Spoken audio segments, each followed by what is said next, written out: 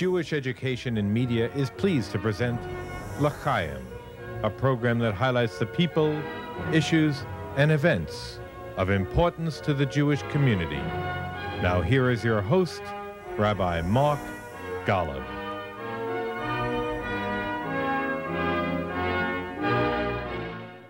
2020 has proven to be a stormy, contentious, and very difficult year. Many people are just happy to see this year come to an end. Of course, the overriding dominant theme of 2020 is the COVID 19 pandemic, which actually began infecting America last December and then January, but which stopped life cold in America, in Israel, throughout the world in March of this year. And virtually everything that's happened of significance this year must be seen through the prism of COVID 19. And in many ways, this was a violent year. The Jewish year began with a march across the Brooklyn Bridge in solidarity with the Jews of Monsey, New York, and against anti Semitism and hate after the vicious attack by a masked African American with a machete broke into the home of a Hasidic rabbi during a Hanukkah celebration and slashed five participants, one critically, Joseph Newman, who died of his wounds three months later. In 2020, Israel remains extremely concerned about Iran's potential nuclear weapons capability, and many quietly applauded the U.S. killing the leader of Iran's Islamic Revolutionary Guard, and terrorist mastermind Qasem Soleimani. Then in November, Iran's top nuclear scientist was also killed, with Iran accusing Israel of the assassination, though Israel has made no public statement. Also in November, the chief negotiator for the Palestinians, Saeb Erekat, died of COVID 19 after Israeli doctors at Hadassah Hospital fought for weeks to save the Palestinian leader's life. Also in January, Israel hosted the fifth International Holocaust Forum, which was attended by leaders of 45 different countries. 2020 was also a year of severe social turmoil in America, sparked in May by the brutal murder of George Floyd by a Minneapolis policeman, which sparked months of protests and some rioting in the streets of America, leading to curfews in many American cities as protesters sought an end to what many American Jews believe is systemic racism in our country. Black Lives Matter became the principal driver of the protests, though there are some Jews deeply troubled by the anti Israel statements BLM has adopted in the past. Of course, it was a year of political turmoil in the state of Israel. In early March, Israelis went to the polls for a third time in a 12 month period to try to elect a parliament that could create a governing majority coalition of 61 or more seats in the 120 seat Knesset. According to Form, the two parties that won the largest number of seats were Likud with 36 seats and Blue and White with 33 seats. What followed was weeks and months of political maneuvering as politicians jockeyed for position and power in a coalition government. Also in March, ironically, the trial of Prime Minister Benjamin Netanyahu began in a Jerusalem district court on charges of bribery, deceit, and breach of trust, though due to the coronavirus, that trial was delayed. It was not until May, and in the midst of an ever growing pandemic in Israel, that a unity government coalition of Likud and Blue and White, with Benny Gantz and Bibi Netanyahu agreeing that Mr. Netanyahu would serve as prime minister for the first year and a half, at which time he pledged to resign and leave public office, with General Benny Gantz becoming prime minister for the remaining two and a half years. The political scene was also stormy for the Jewish community in America. again in May, with talk of the Netanyahu government extending sovereignty over parts of the West Bank, and with the approval of the Trump administration. 191 Democratic members of the House of Representatives signed a letter opposing any Israeli attempt to extend sovereignty over parts of the West Bank, warning Prime Minister Netanyahu against taking steps that would, quote, fray our unique bonds, imperil Israel's future, and place out of reach the prospect of a lasting peace, unquote. And then in July, 13 Democratic senators similarly proposed an amendment to the National Defense Authorization Act that would restrict U.S. security to Israel if Israel extends sovereignty over parts of the West Bank by preventing Israel from utilizing U.S. funded equipment, including missile defense systems like the Iron Dome, to protect Jews living on the West Bank. Also in July, two Jewish figures in the public spotlight made big news high profile Jewish journalist Bari Weiss surprised everyone when she wrote a scathing letter of resignation to the New York Times, citing its bias, its unwillingness to represent the spectrum of American opinion, and of its bowing to the cancel culture. And longtime progressive Jewish activist Peter Beinart stunned the Jewish world by publishing a piece stating he no longer supports a two state solution, but believes there should be a binational state from the Jordan River to the Mediterranean Sea that would replace the Jewish state of Israel. But there was at least a few moments of triumph and success worthy of honest celebration. In July, Israel successfully launched its Ofek 16 reconnaissance satellite, seen as extraordinary achievement for Israel's defense establishment and for the Israel aerospace industry. And on September 15th of this year, on the south lawn of the White House, the foreign minister of the United Arab Emirates and the Israeli prime minister flanked the president of the United States in an epic moment of world history. After years of being ridiculed by the media and by many inside the Jewish community, Donald Trump was party to the Abraham Accords, an historic peace agreement between the UAE and Bahrain and the State of Israel, which has prompted a host of other Muslim countries, such as Sudan and this month Morocco, to normalize relations with Israel with others expected to follow, including Saudi Arabia.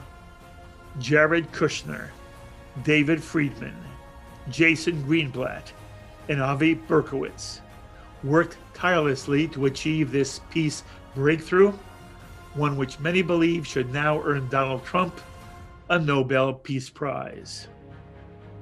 Of course, in November, Americans went to the polls to either re elect President Donald Trump or replace him with Joe Biden.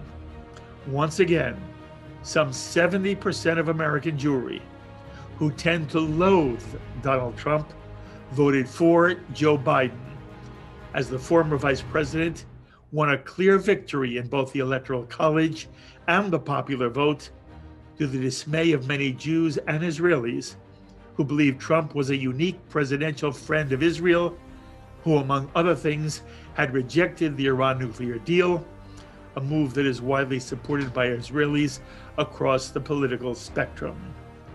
Many American Jews are also troubled by some of the choices of Joe Biden's appointments, which include Susan Rice, a strong critic of Israeli policy. Inside the Jewish community, while the overwhelming majority of Jews celebrate Donald Trump's defeat, the drama continues. And staying with elections, from January to March, AZM, the American Zionist Movement, held seven weeks of online elections to send delegates to the 38th World Zionist Congress for a four year term. JBS had the privilege of hosting three nights of election forums with representatives of the slates running for seats in the Congress, and more than 120,000 Zionists participated in the 2020 elections. And then this October, some 7,000 delegates from 35 different countries met for three days in a virtual conference. The biggest controversy at the Congress dealt with the battle between the right and left over influence and power, with the right ultimately making concessions to the left and the more liberal delegates of the Congress. And speaking of elections on the American Jewish scene, one of the most controversial votes inside American Jewry involved the Conference of Presidents of major American Jewish organizations, the umbrella organization of American Jewry, with membership of more than 50 national Jewish organizations, where Dianne Lob, a former chairman of HIAS, won an unusually contested election to be the next lay chair of the conference. Members who opposed Lob's selection argued that HIAS is no longer a Jewish organization and that Ms. Lob has no real familiarity with the State of Israel. Current Chair Arthur Stark proposed he would remain in the position for an extra year to give Dianne Lob the opportunity to become more familiar with the issues challenging the State of Israel. On the cultural scene, at the Emmy Awards, Schitt's Creek won Outstanding Comedy Series with actor Eugene Levy winning Best Lead Actor, and his son and co creator of Schitt's Creek, Dan Levy, winning Best Supporting Actor, as well as winning Emmys for Best Writer, Best Director, and Best Producer. The first time one person has won in all four categories in a single year. Also, Julia Garner, whose mother is a Jewish Israeli, won her second supporting actress Emmy for her role in Ozark. At the Oscars, Taika Waititi, whose mother is Jewish, won an Academy Award for Best Adapted Screenplay for Jojo Rabbit. And at the Golden Globes, Sam Mendes, whose mother is Jewish, won Best Director for the film 1917, which also won for Best Picture. Also, the Jewish community lost, among many others, entertainment icons Carl Reiner and Kirk Douglas. And among others whom the Jewish world lost this year were a number of rabbinic giants, including Adin Steinsaltz and Rabbi Lord Jonathan Sacks, as well as losing a Supreme Court justice revered by many in the American Jewish community, Ruth Bader Ginsburg. And on the cultural scene in December, the Jewish Book Council gave out its award for books written in 2019, with Pamela S. Nadell winning the Everett Family Foundation Jewish Book of the Year Award for her work entitled America's Jewish Women A History from Colonial Times to Today. Other winners included Bari Weiss and Deborah Lipstadt, with Robert Alter receiving a Lifetime Achievement Award for his decades long project, The Hebrew Bible, a translation with commentary.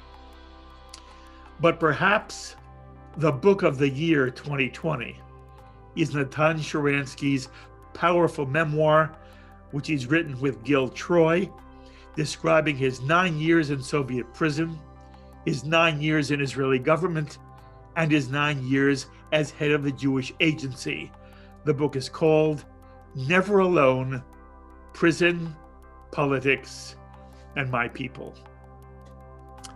And those are some of the highlights from the Jewish year 2020. I'm Mark Golub. Welcome to our L'Chayim Year in Review Roundtable. As always, I'm thrilled to be joined by a wonderful panel who will offer their take on the Jewish year of 2020.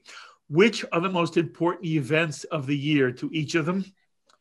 And which will impact Jewish life of the future? And whom do they feel is the Jewish person of the year in 2020? let me introduce my panel to you.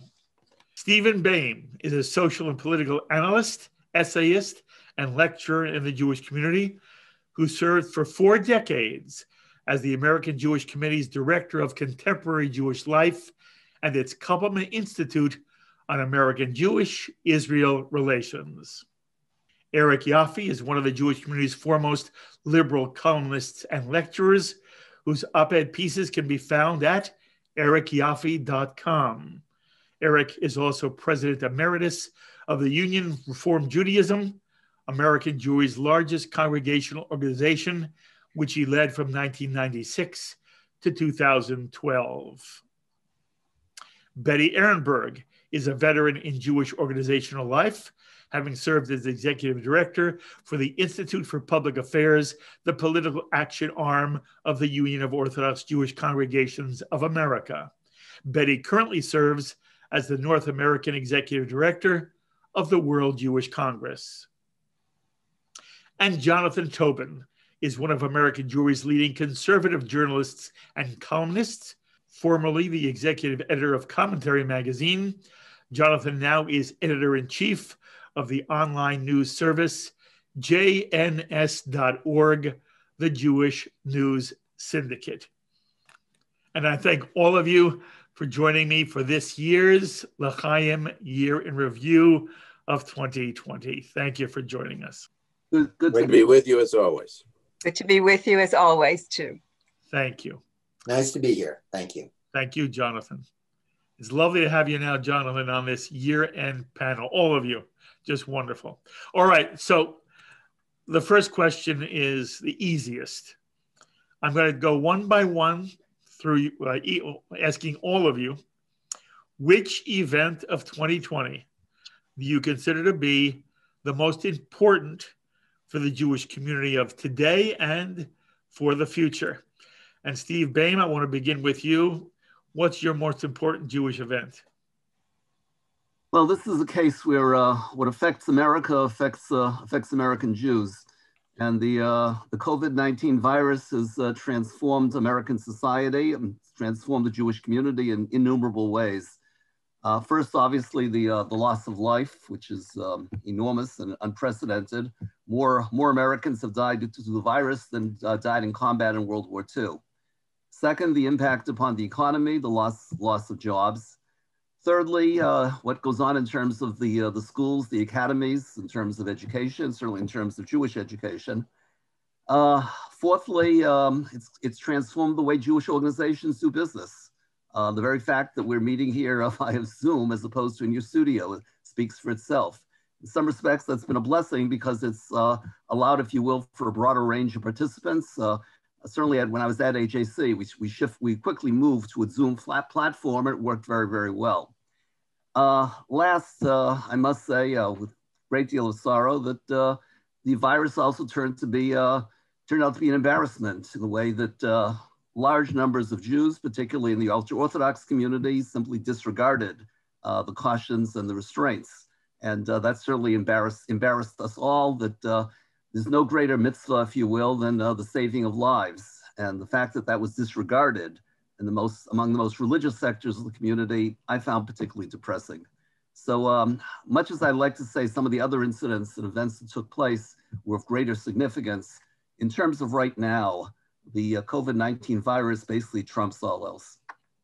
Okay, thank you so much. Eric Yoffie, what's your most important event of the year? I'm going to agree with Steve, but focus in particular on the religious dimension uh, we are at heart a religious community. Our grassroots are organized around religious institutions.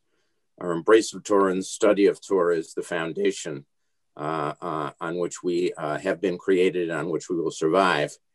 And uh, what the virus did was call forth this enormous amount of creativity and adaptation among our religious institutions, which, as I say, are the are the grassroots of our community. I don't necessarily would have anticipated it, um, but uh, we saw in particular a technology uh, that uh, allowed, certainly in the non Orthodox world, for us to continue to worship, and in fact, to worship in even uh, more creative ways, perhaps, than in the past, uh, for high holidays, for religious instruction.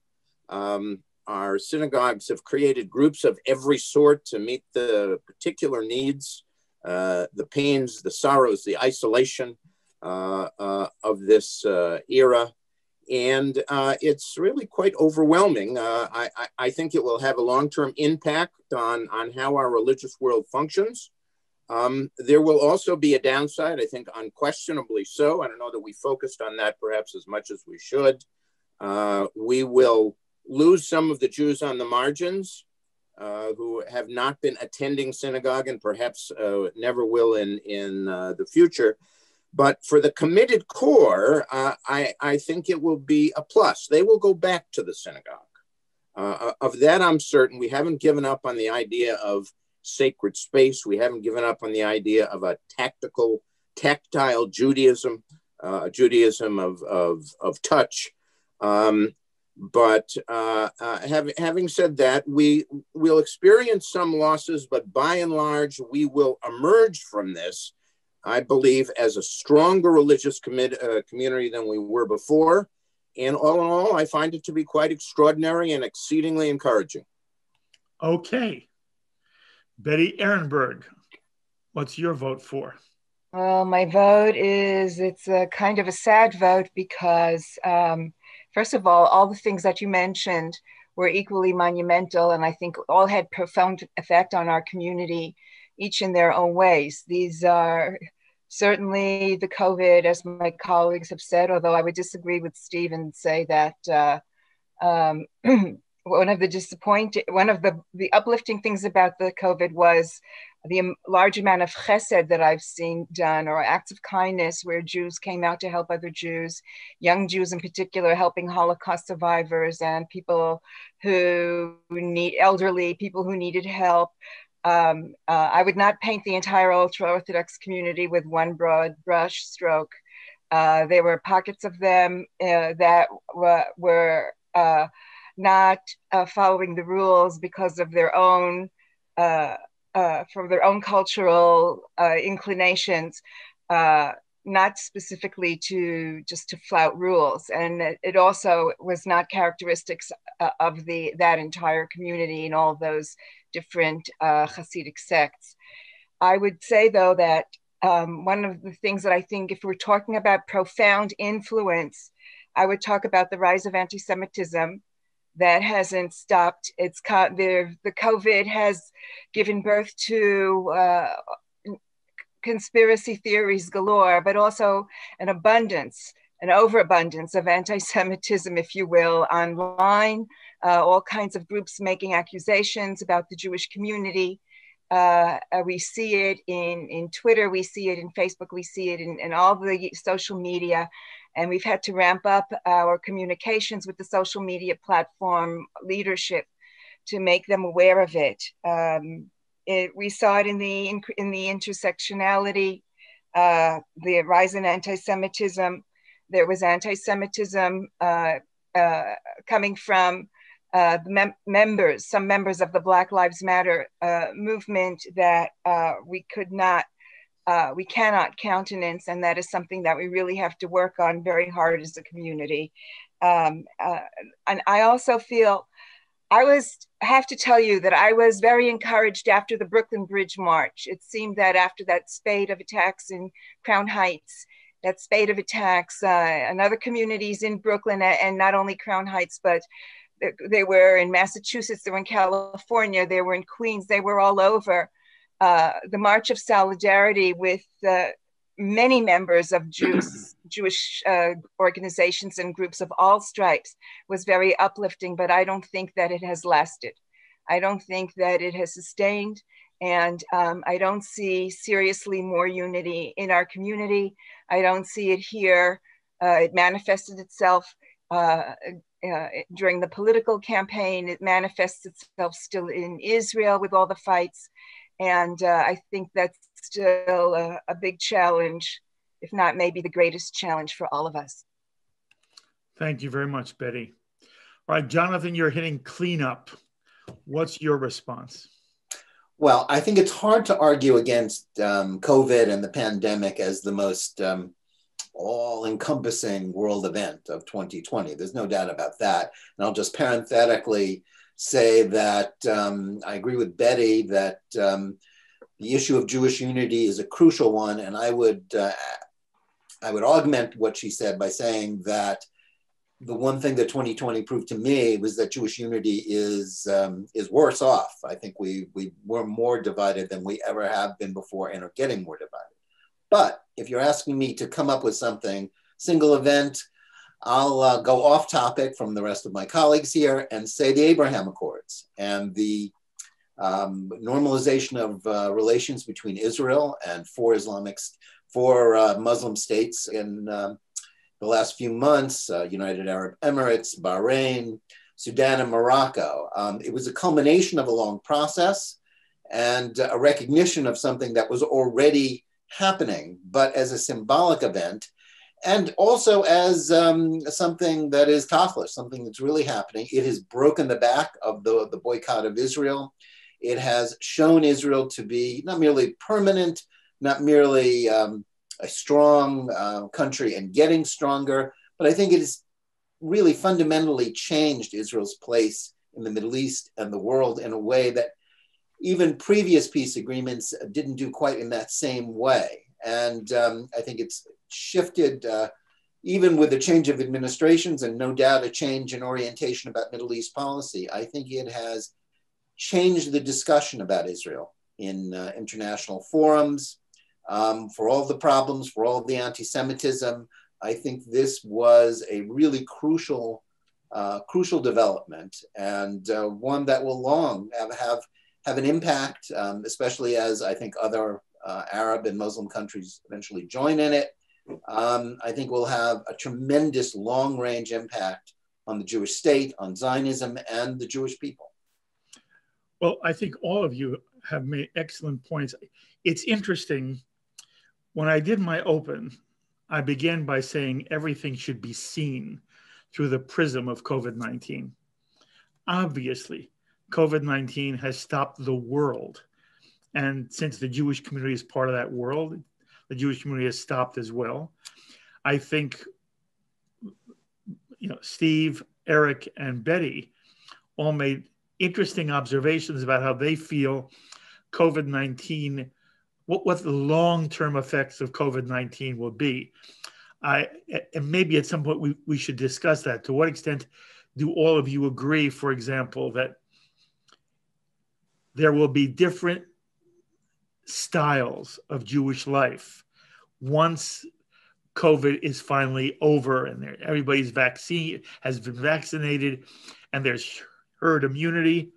Will Jewish life look and feel different than it did in 2019 because of COVID or not? I'm one of those who is not convinced. I have the sense people are creatures of habit.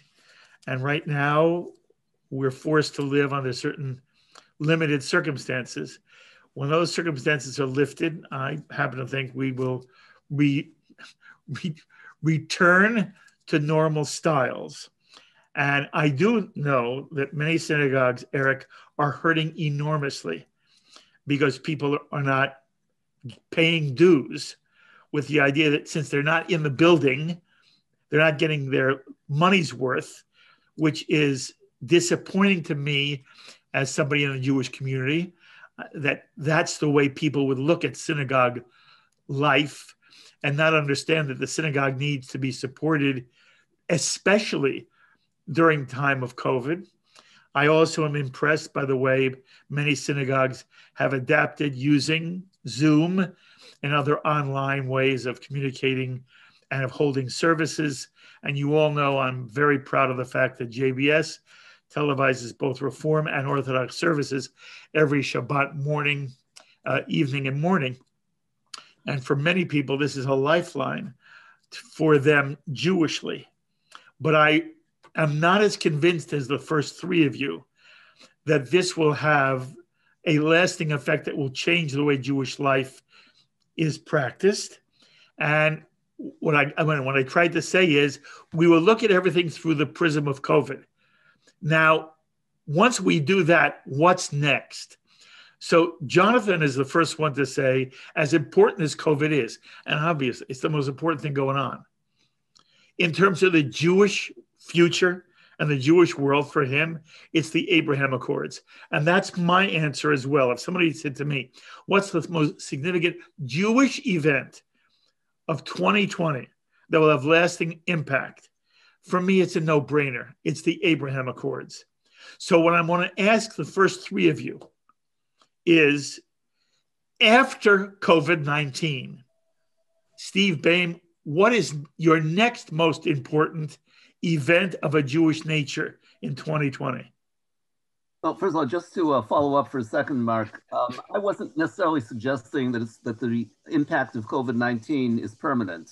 I very much share your aspiration that we return to normal.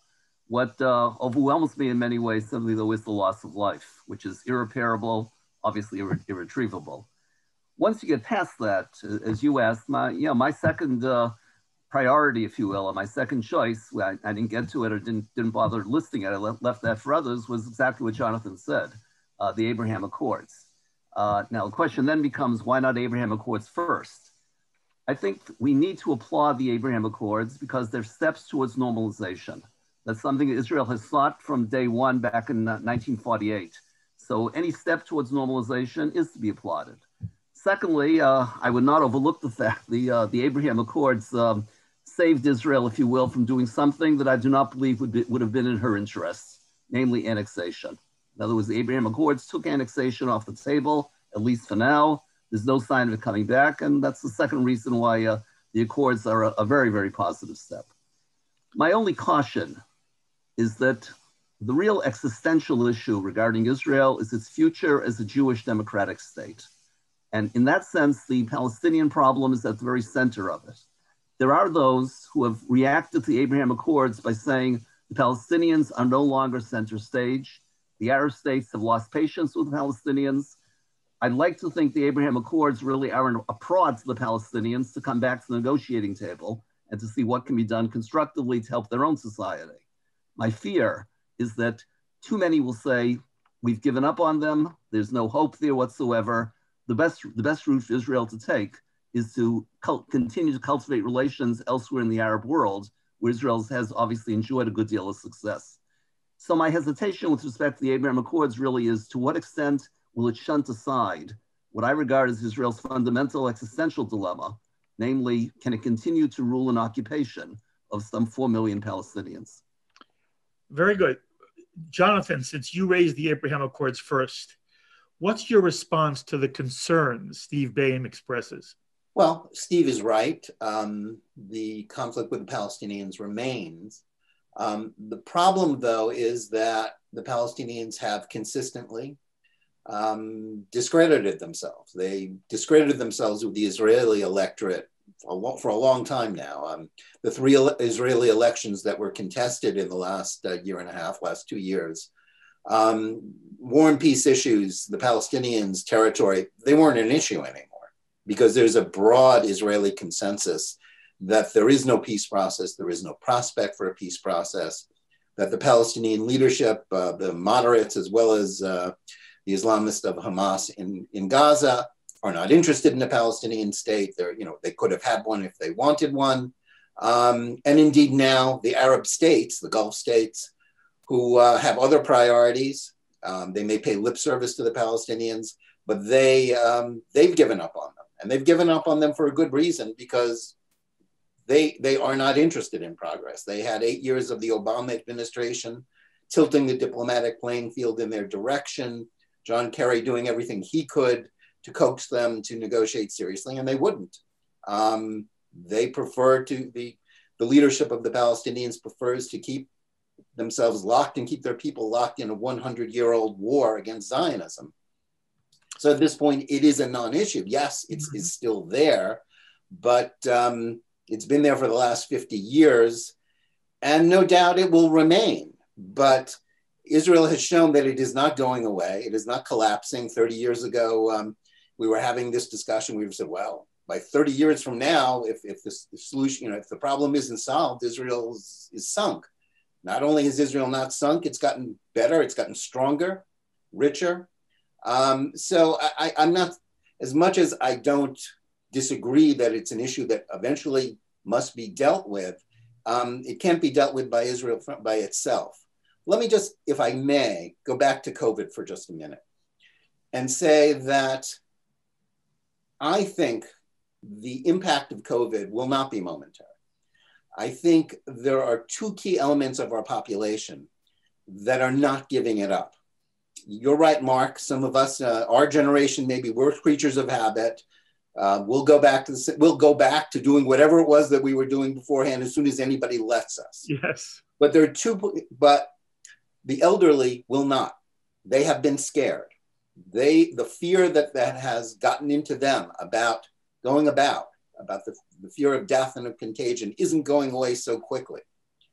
Even more to the point, Jewish children have been affected by this. Young children, teenagers, they don't have the same habits. They, their lives have been altered. They will carry around the fear of COVID, what it's like to live in a pandemic, the way my parents' generation carried around the depression with them for the rest of their lives. If anybody who thinks that's not going to have a profound effect on the way Jewish institutions work, and in many ways, I think a profoundly negative effect. Um, we are a people that are built on community. You know, the old expression, you can't really be a good Jew on a desert island. Um, Zoom is great. We're using it now. There are a lot of, Rabbi Yoffie is very much to the point. He's, he's right. There's been a lot of wonderful creativity, and those who are committed are probably more committed. But, you know, it's not just marginal Jews. I think we have been living on desert islands, and this is going to have a tremendous impact on rates of affiliation, on the way people relate to the community. I don't think we have even begin to scratch the surface of understanding that kind of impact, that, that kind of effect on the way Jewish life will continue. And um, it's going to unfold. And I'm afraid most of the answers there are going to be negative. Okay. Eric, you can, if you want, you can re- uh, respond to both of the points that Jonathan made. I mean, my real question for you was going to be what's you know your sense of the accords but one word on covid go ahead just one word because it's it's it's a big topic we have to focus on the difference between impact on small congregations and large congregations. That's kind of the central dynamic that's operating, I think, throughout the community.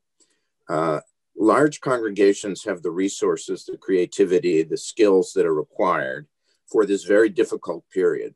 Uh, providing the uh, virtual religious experiences, you know, for worship and for study and and uh, for social gatherings and cultural events and so on, um, is a difficult thing to do. It requires um, uh, technological know-how and requires money. And uh, large congregations have been extraordinary. Small congregations have suffered. Sometimes they don't have the skills. Sometimes the rabbis are simply unable to do it with the, the best of, in, uh, of intentions. And very often they simply don't have the resources. Uh, what you do is interesting. Um, Central Synagogue is this extraordinary congregation and community uh, with wonderful rabbis and a uh, religious, um, you know, a Shabbat experience mm-hmm. that is soaring. There's just simply no other word. It's just soaring. So what's happened? People throughout America, thanks to you and to others, are um, uh, are davening for for uh, Shabbat if their religious beliefs permit this. Um, you know, via Zoom at Central Synagogue. But what about their own synagogues, which are simply unable to provide what they're providing? So the long-term implications of how that plays out is distressing. We can't simply be a be a, a, a movement, a, a, a, national community where we have large uh, uh, uh synagogue centers and not the smaller communities that have, that have always been the, the heart of American Judaism. Okay. I just want to say this. First of all, I continue to say it again. I believe that after COVID, although Jonathan made a very good point, especially having to do with children, and it has occurred to me as well, Jonathan, that the analogy is with those who experience the depression. Um, but I'm still counting on most of American Jewry returning to patterns that preceded COVID. Now, what I'm interested also, Eric, hearing from you is you heard some concern about the Palestinians being left out of the Abraham Accords.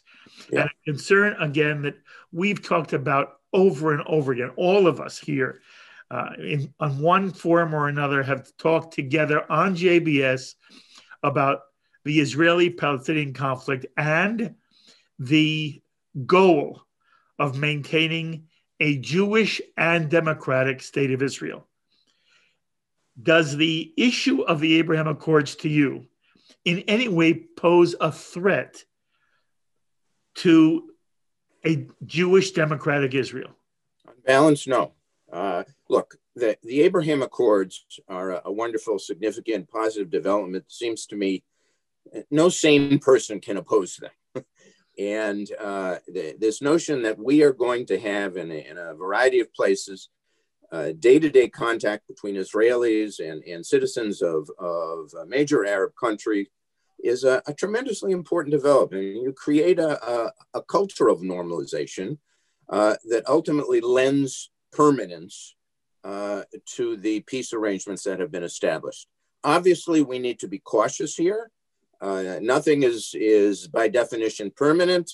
We remember that Morocco had uh, diplomatic relations with Israel before, at least on a certain level, and then they were broken off at the point of the Second Intifada. So we, we have to be aware of that dimension as well. Overall, though, I, I embrace these accords, and I, I think, you know, again, everybody needs to see how positive they are. I also believe, to, to respond to your point, they are likely to help uh, the Palestinians, uh, help the plight of the Palestinians. Yes. If there is any possibility of moving forward, it seems to me those possibilities are greater now than they were in the past. Yes. And why, why is that? Uh, first of all, because the Israelis have entered into a deal with Arab countries, which means those Arab countries now get a say in what happens moving forwards. So you had very clear condition that there was to be no annexation. Uh, very clear. So it'd be interesting if Bennett or Sa'ar becomes prime minister. They both talked about annexation, but Israel uh, made a commitment together with the United States that annexation was not going to happen. So they were going to be, I believe, constrained by that. Um, the, the other thing is the Palestinians themselves seeing this reality. In fact, we're just news reports today in Israel. I don't know if others have seen them, although uh, you know this has been clear now for over the course of the last week or so have said that they want to go back into talks with the Biden administration, renew contacts, and see what they can do to start moving towards some kind of arrangement. In other words, they recognize that in light of this, they perhaps have to, to move, to, to get off that spot that Jonathan talked about, where they have been for a very long time, unwilling, uh, uh, you know, to to embrace any kind of uh, diplomatic process that would be helpful uh, to them. So um, I, I, look, nobody's expecting that there's going to be a deal with the Palestinians tomorrow. I believe the Abraham Accords makes it more likely, however, that we could see some progress in that regard over the course of the next uh, year or two. Okay. So, Betty, I want you to chime in. How important to you were the Abraham Accords? And, and do you want to say anything to what you've heard from Steve or Eric or Jonathan? I think they're very important. I think there were, uh, uh, I mean, it's really hard to kind of prioritize all the events that you mentioned as the major event. These are all big, major events that have happened this year. And uh, it does, uh, the Abraham Accords raise the security of Israel, they raise the prestige of Israel, they raise um, uh, uh, in the, in the international community. They raise the importance of Israel as we see. Uh, and I think that um, uh, you mentioned two other things that I think are also major.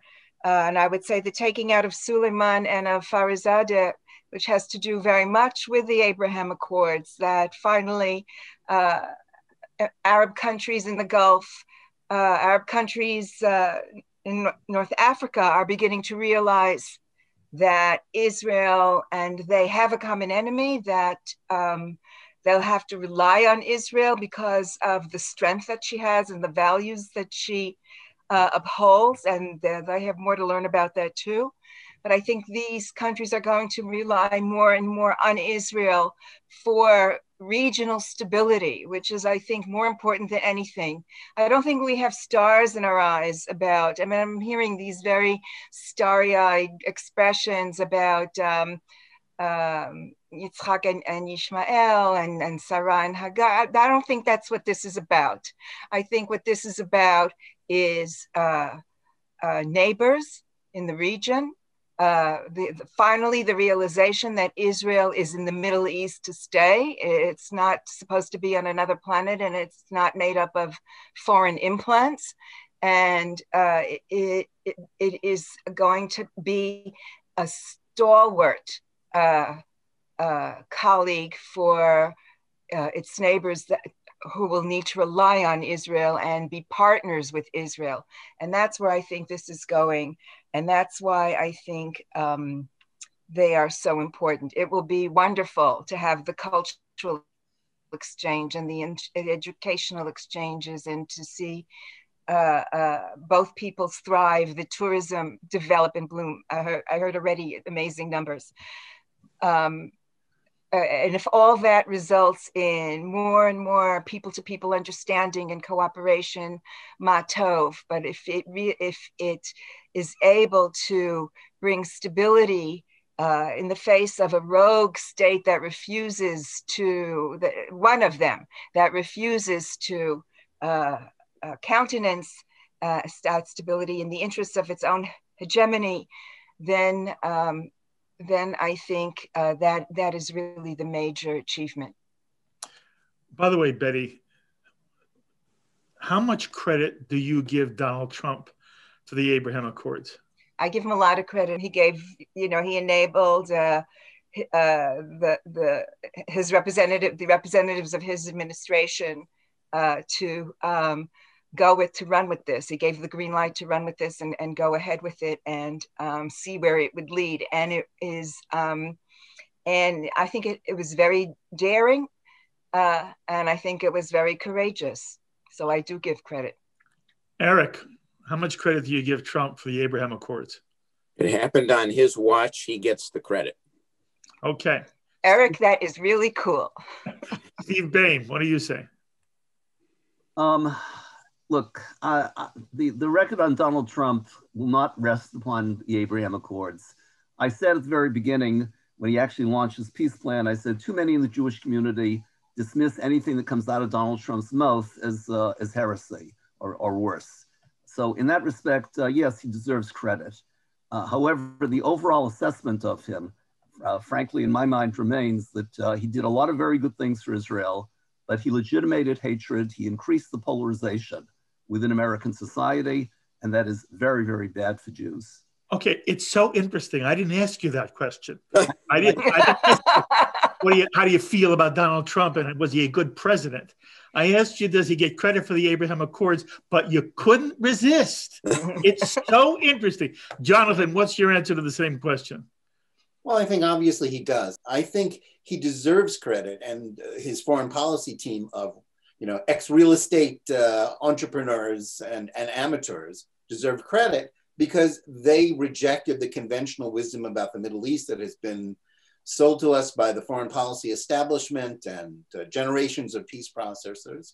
Um, they really turned everything upside down. That involved the decision on Jerusalem and a host of other issues and they changed the culture. Um, you know, uh, it's it's going viral. There's a video of John Kerry in 2016 saying, "No, no, no, no. It's a hard reality. Something like this can never happen."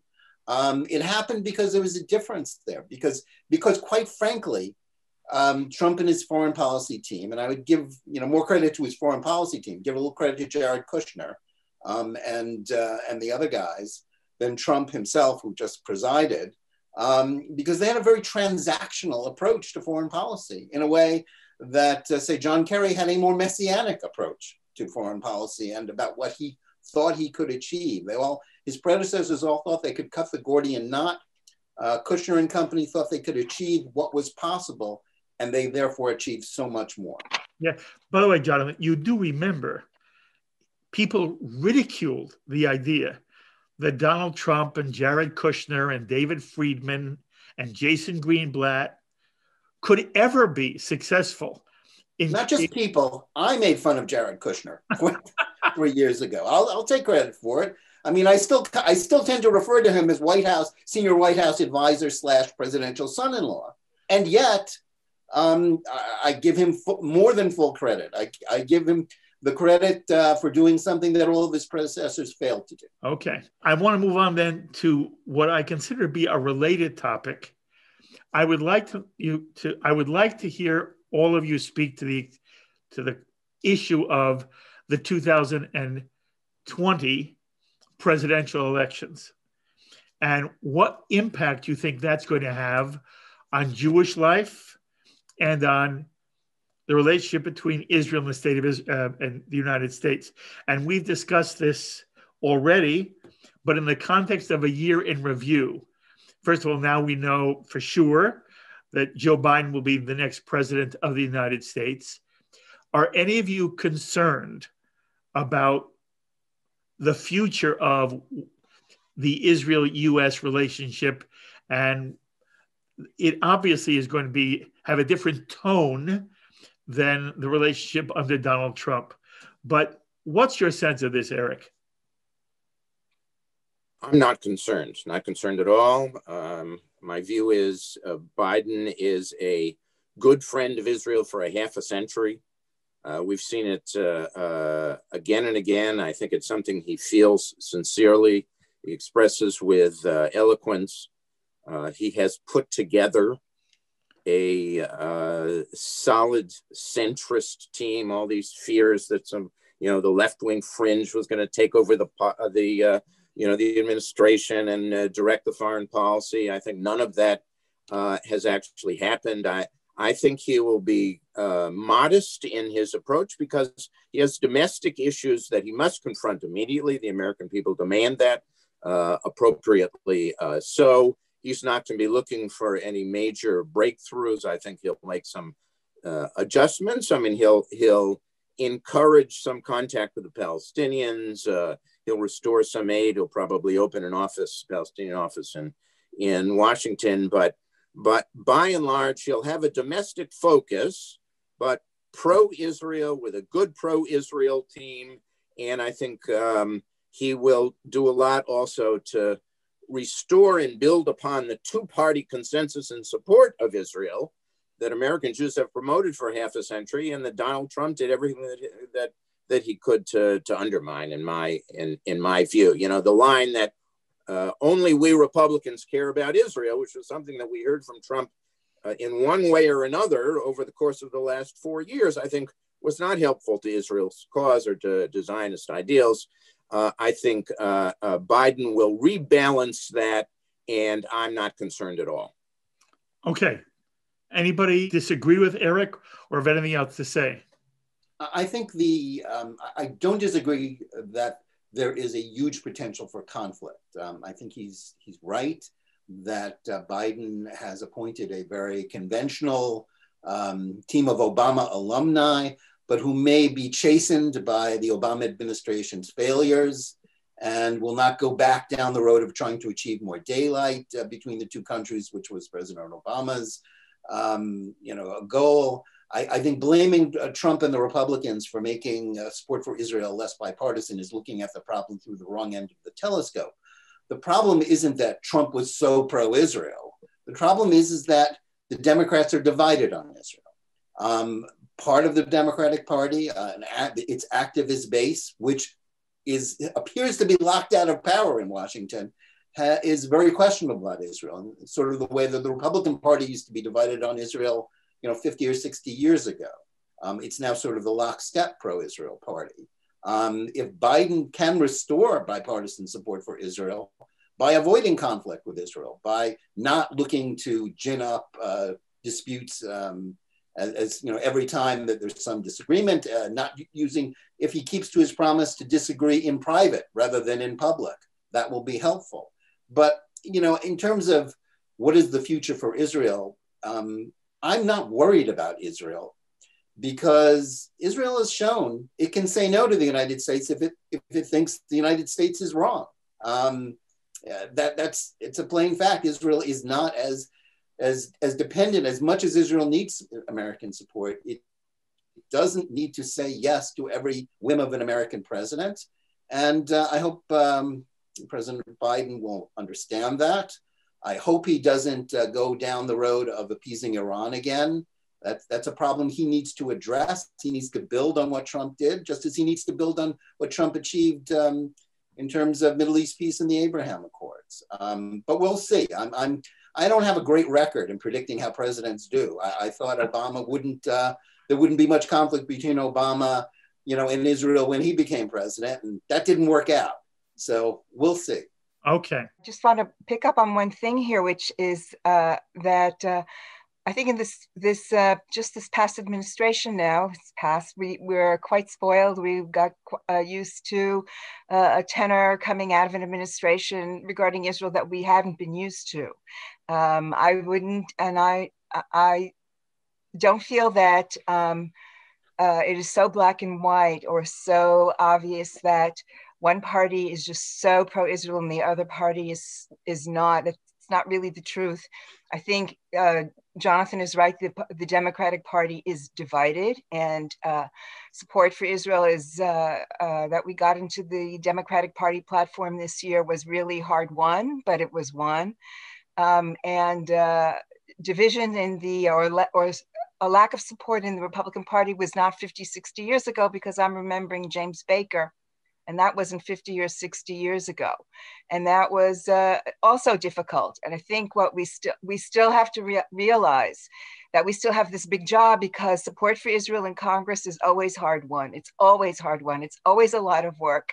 And it will continue to demand that work of us and we will still have to continue to uh, to uh, uh, rely on the uh, security relationship. I'm talking about the Pentagon and Israel, mil- military to military, the security issues, and the fact that um, uh, the United States sees in Israel a very important strategic asset in that region. And I think that is really going to um, uh, help keep things on an even keel. I think things will remain on an even keel, but the political can affect it and uh, we're going to have to um, still reinforce the security aspects of this okay. relationship. Betty, you alluded to the fact that you had to work hard, the Jewish community had to work hard to get certain things into the Democratic platform. Like what?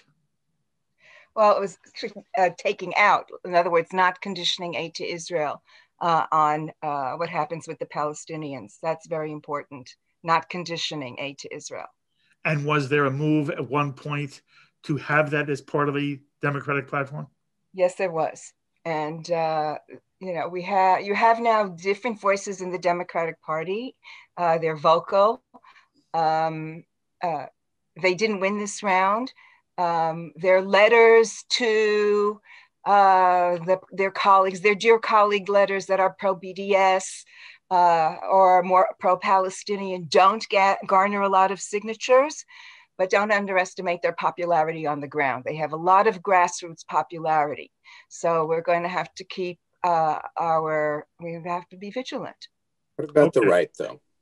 I mean, let's, let's, I, you know, it's, we have to deal with anti-Semitism wherever Absolutely. we see it. Absolutely. Oh, Eric, I don't disagree with that at all. We have to watch it. We have to watch it. It's never going to go away. And we always, I mean, I have seen uh, it come up again. Lyndon LaRouche groups, which I had thought went under, are now out again. It's always, no one, I think we should not politicize anti-Semitism. It is terrible from wherever it comes from. Right. You have to watch it and fight it wherever it, wherever it uh, emanates from. It's uh, it, it, this is not a blame game here. Your anti-Semitism is more lethal than than their anti-Semitism. That's crazy.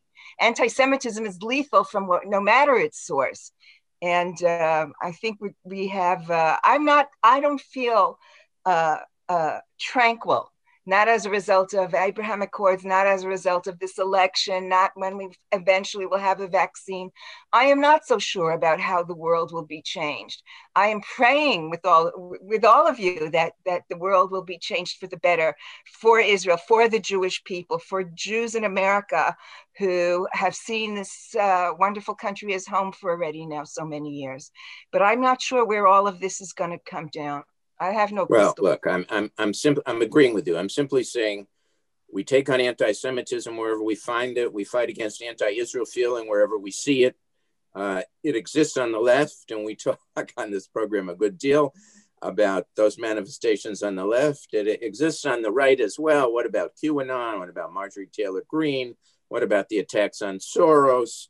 What about the, you know, the white supremacists and the violent nationalist uh, right, the Proud Boys, the Boogaloo Boys, what about Douglas Macgregor in the Pentagon, who's a Trump appointee? You know, all, all of this is part of the picture as well, and we have to take it on wherever it exists. Steve Bayme, I want your comment. I guess, uh, you know, in working four decades in public Jewish life, one thing I learned is that uh, Jewish leaders, the best of them, and certainly everyone on this panel, but we still have a problem of uh, we tend to tell ourselves the narrative of uh, it's hard to be a Jew. In other words, the story we tell our own people, the story we tell ourselves is that in one form or another, the world is falling apart. And here I, I really dissent a bit from really both, both Eric and, uh, and Betty. Not that they're wrong in terms of the facts on the ground, but the picture is, I think, is much larger. First of all, as far as Biden is concerned, Eric, I think, put it, put it very, very well. Short term, but the, the relationship between America and Israel transcends party politics. It's in danger of becoming partisan. But my, my assumption is, is that Biden, coming from where he's coming from, will do everything possible to restore closeness between America and Israel. If nothing else, the popular basis of pro Israel support in this country is much higher than you would think when you speak to Jews, where we think that uh, Israel is the, uh, uh, the pariah state, when uh, 60, 70% of Americans clearly favor Israel over the Palestinians. So in that sense, short term, I don't think there's all that much to worry about.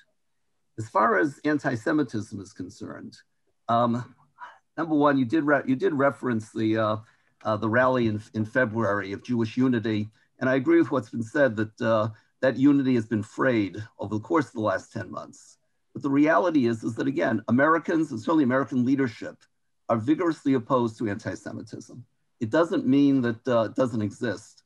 But in that respect, uh, we, we, we live in this country in a far better shape. That no society in diaspora Jewish history has been as receptive to Jewish participation as has the United States.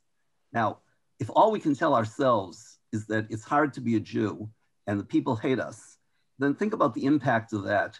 Uh, Jewish unity should be based upon love of Judaic heritage, love of the Jewish people, what we share in common in terms of Jewish values. If the only basis of unity uh, is that we have too many enemies out there. The question is, what, what would that unity be worth anyway? So my point is uh, to give it a long, a short, um, a short summary of, of everything I'm trying to say here is that there are grounds for concern. Those, those grounds should be carefully monitored in the years ahead. In terms of the Democratic Party, it's almost generational. Namely, the old guard is very vigorously pro-Israel. I'm not so sure at all about the younger people, certainly not in terms of the, uh, the progressive left and that has to be guarded against. Secondly, we need to ensure an America that remains open, pluralistic, receptive to Jewish participation. And that's American pluralism goes back a long way.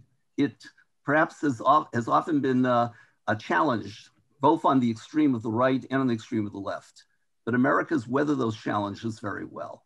If you want to talk about anti-Semitism, perhaps the more, more encouraging thing is that a, when we met a year ago, in the aftermath of the Hanukkah party in Monsey, we thought that was a harbinger of everything to come.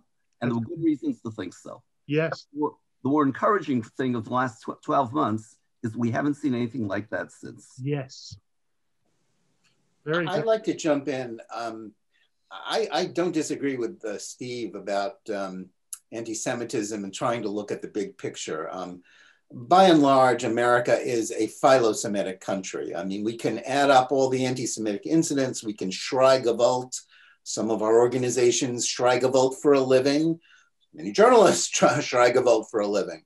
Um, but I think uh, American Jewry, um, I believe in American exceptionalism and anti-Semitism is the proof of it. Even at the worst of times, uh, anti-Semitism is a marginal phenomenon. Yes, it, it, it, exists on the right as well as the left. It must be confronted everywhere. But on the whole, I think the majority of the American, the vast majority of the American people are with us. Where I'm concerned is not so much that they're coming to get us and the lack of you know, external enemies will, will destroy Jewish unity. Um, we're living in a context of uh, an America which has um, dissolved into a pair of tribal, uh, you know, into a tribal war, a tribal culture war, where politics has replaced religion for most people, where there is just tremendous um, distrust and even hatred between the two political sides. We saw how that worked out in the campaign.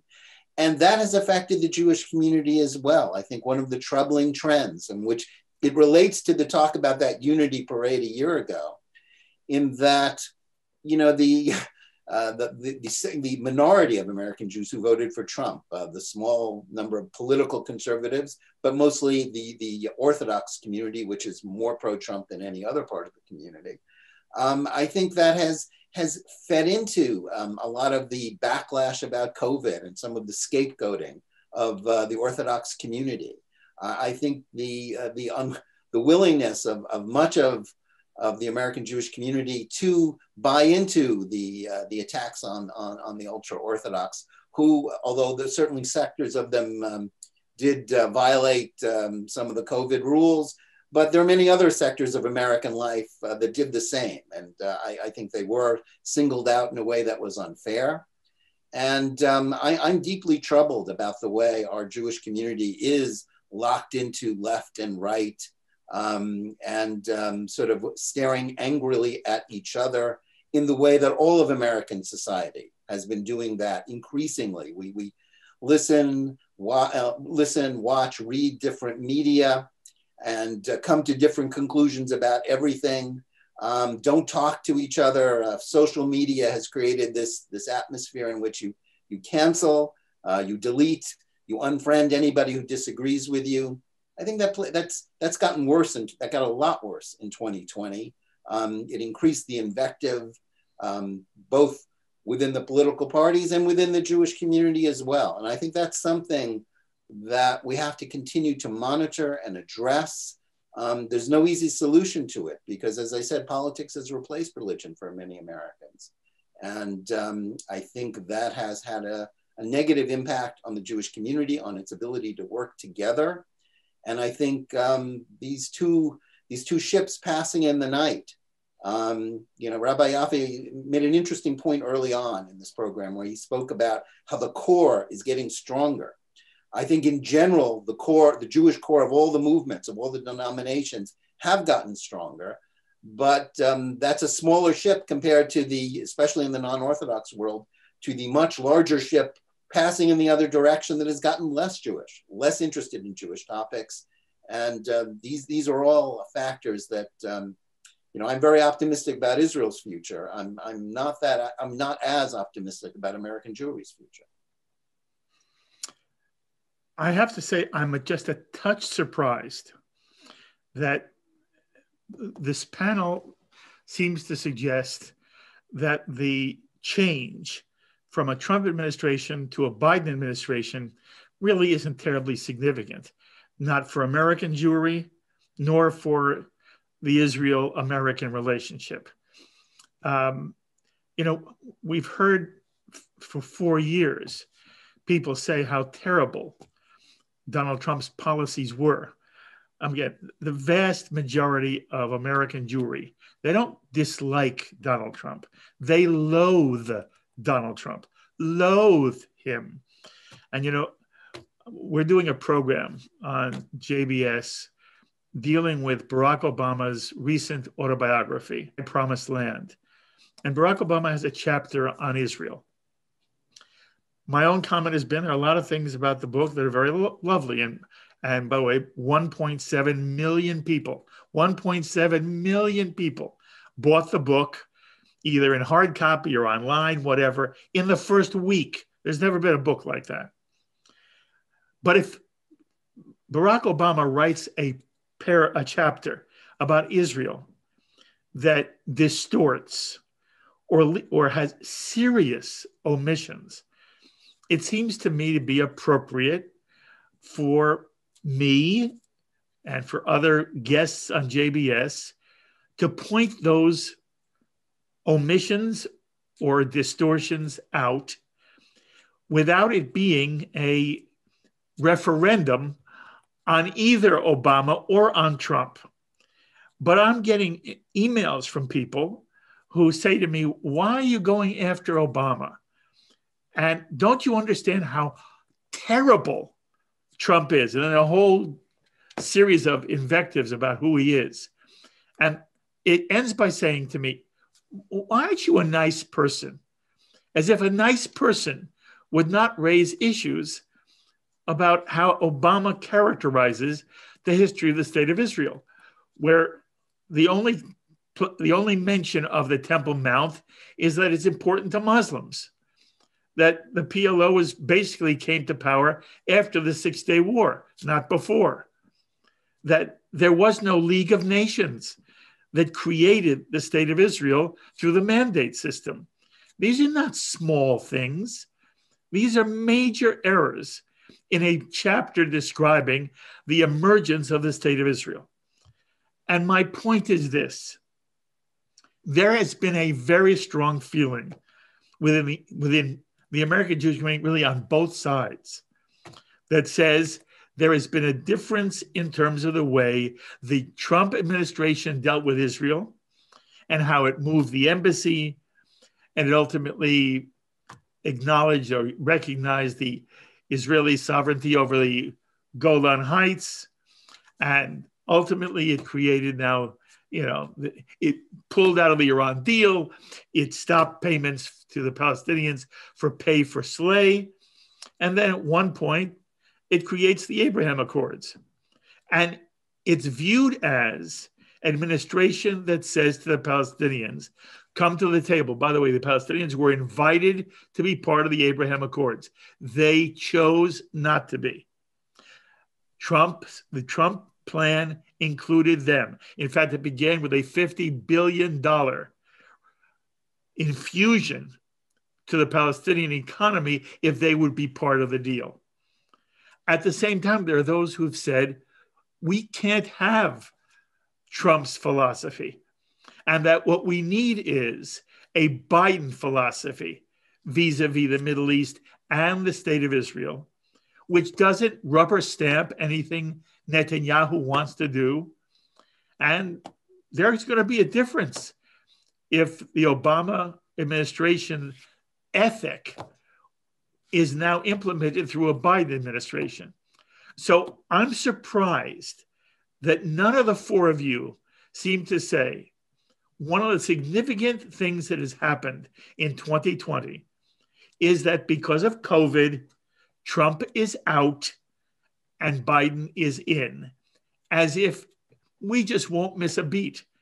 So I'm asking you again if anybody wants to, in some way, comment on how you feel it will be significantly different, not di- significantly different for the US Israeli relationship. Uh, Mark, there is, um, you know, there, there is obviously a fine line here that, uh, you know, that will change. The Trump administration went out of its way repeatedly to say basically no daylight between America and Israel.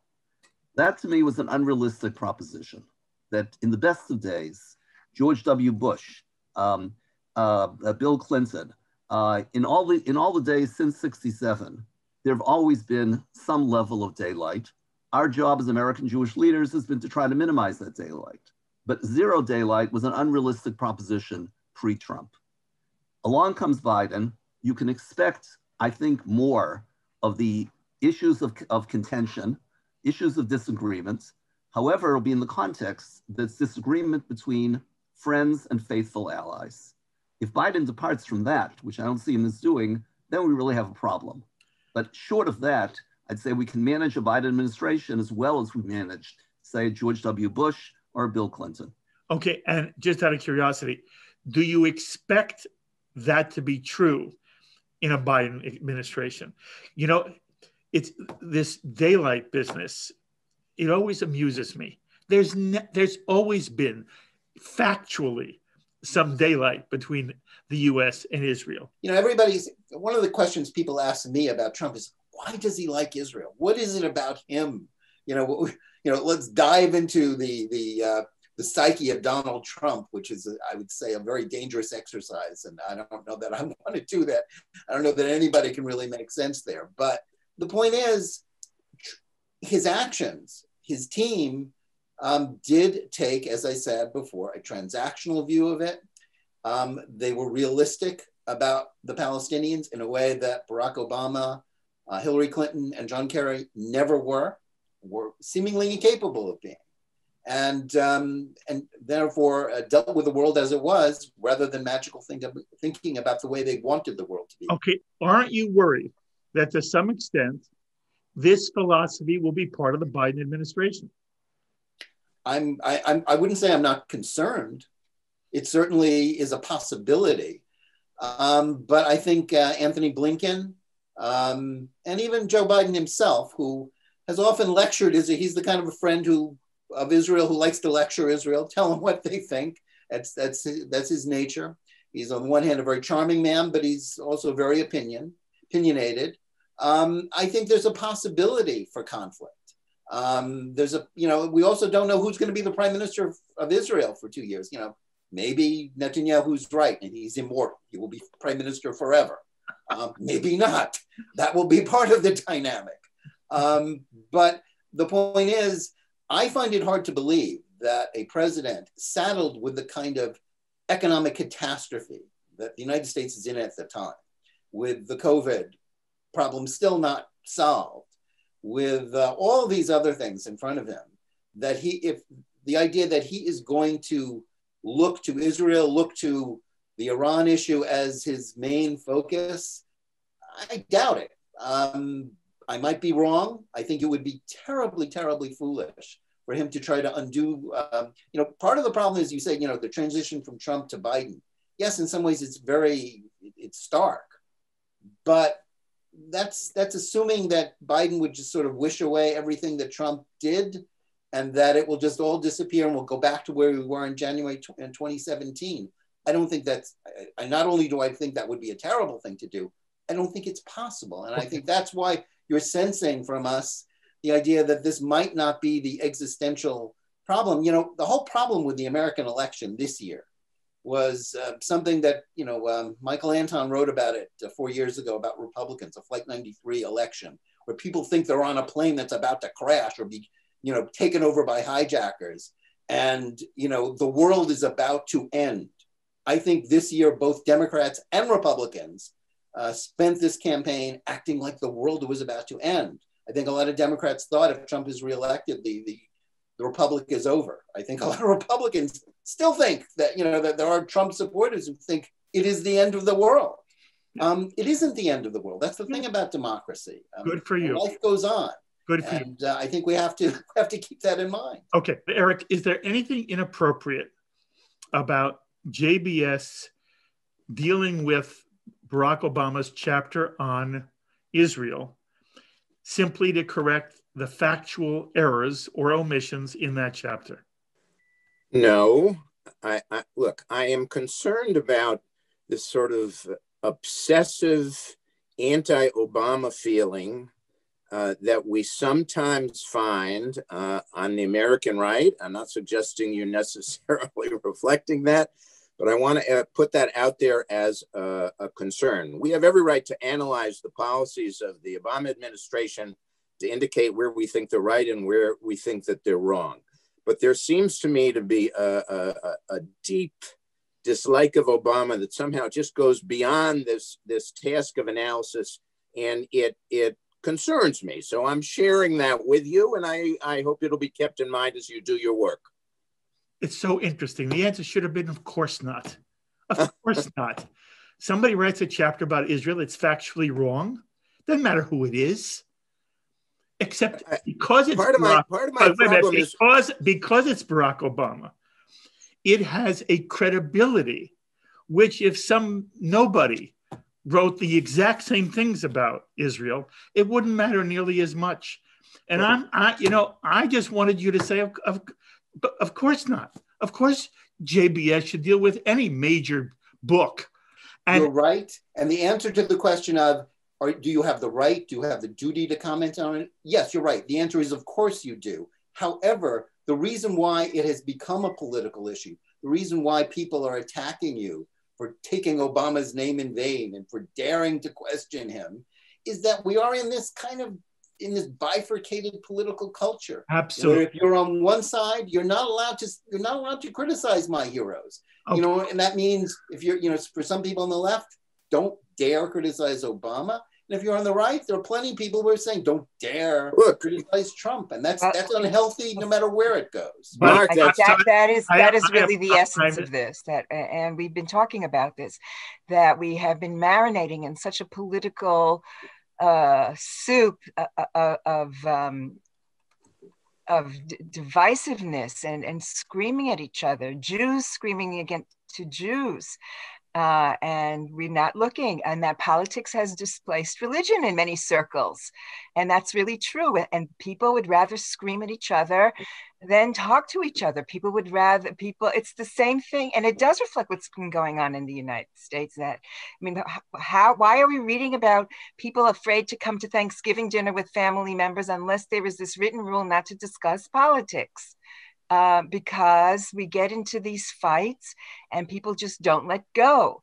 And what happens is there's just name calling, and it's reflected. This has become the way our society has been operating, and that's what's the matter. That's what's at the root of this problem.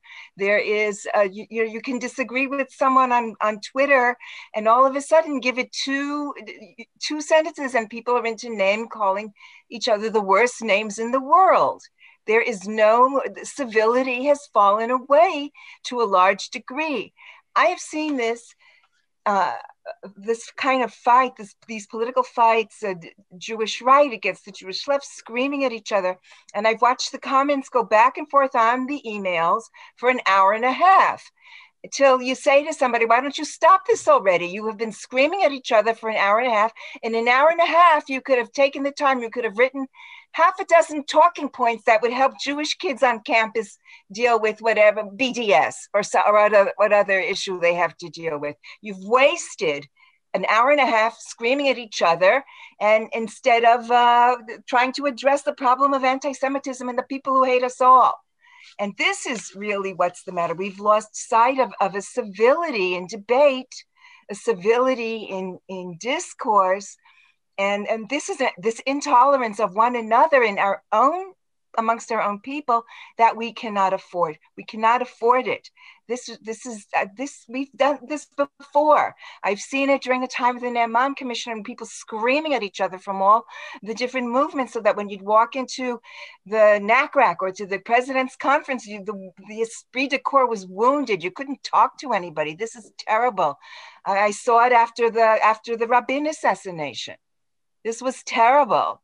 Uh, one of the ways we tried to address it, and Steve, you could quell, was uh, AJC, Diane Steiner, my colleague at AJC, tried to make a, uh, a, a dial- intra-religious dialogue uh, through the religious women leaders of all the streams. And we began to talk, and we lasted for a good two, three years talking because nobody understood one another. It was the first time people wanted to sit down and understand what is a Reform Jew, what is a, what is an Orthodox Jew, what is a Lubavitcher, what is someone who goes to Or a Zarua on the east side. Is really uh, uh, we have we're just okay. melting. Okay. And that's why you are being vilified for doing what you should be doing as a journalist, which is uh, fact checking. Okay. Anyway, what I love about all for you is that even when you disagree, it's always done with great respect and with civility. And it's something I'm committed to very profoundly here at JBS. All four of you have been wonderful in part one. We will begin to prepare for part two. It is my pleasure to be speaking to Steve Bayme, Betty Ehrenberg, Jonathan Tobin, and Eric Yoffie as they assess some of the most important events of this past Jewish year, 2020. And I hope you'll join us for part two of our discussion, when we'll also hear their picks for who is their Jewish person of the year. As always, I invite you to be in touch with me with any thoughts or comments you may have to any of the ideas expressed on this edition of L'Chayim. Please email me at Rabbi Golub at jbstv.org, or you can write me at Post Office Box 360, Stamford, Connecticut 06904. And please remember you can now take L'Chayim with you anywhere you go and listen to it on the L'Chayim podcast. And so until the next time, I'm Mark Golub. L'Chayim, my friends, to life. L'Chayim is a presentation of Jewish education in media. We would be pleased to send a complimentary DVD of this program to anyone who wishes to support JBS with a tax-deductible gift of $36, double chai or more. Simply visit the JBS website at jbstv.org and click on the donate button to make a donation by PayPal or your credit card. And please indicate the program for which you would like a DVD. Or you can send your tax deductible check to JBS, Post Office Box 360, Stamford, Connecticut 06904. Or you can call the JBS Pledge Line at 833 MyJBS-TV. That's 833 of Jewish education again, in please media. remember to indicate which program you would like to receive with our compliments. We thank you for your kind support.